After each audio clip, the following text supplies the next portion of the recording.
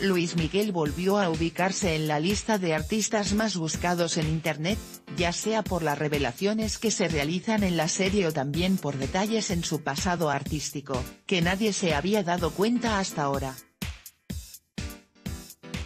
Este es el caso de una canción que se volvió popular de entre todas en el repertorio del Sol de México, debido a que en YouTube se percataron de una controversial acción que realiza el cantante con la protagonista de su videoclip.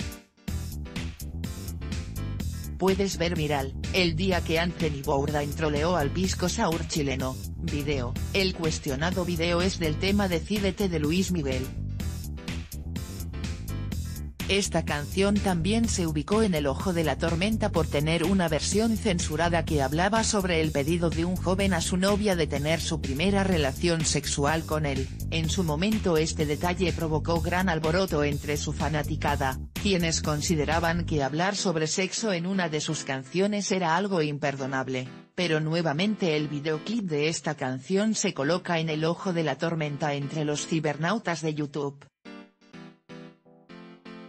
La cuestionable escena aparece en el segundo 059, en ella vemos como el Sol de México realiza una maniobra en la que coge del cabello de su protagonista y tira de él para que no lo ignore, y como era de esperarse diversos usuarios han considerado que esta acción refleja el poco respeto hacia la actriz.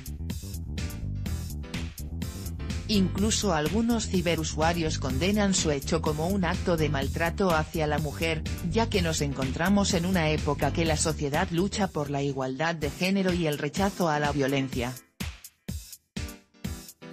Aquí te dejamos el video completo de Decídete de Luis Miguel en YouTube. ¿Qué opinas al respecto?